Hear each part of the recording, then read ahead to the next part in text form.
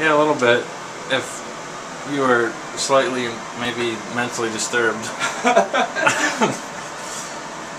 okay.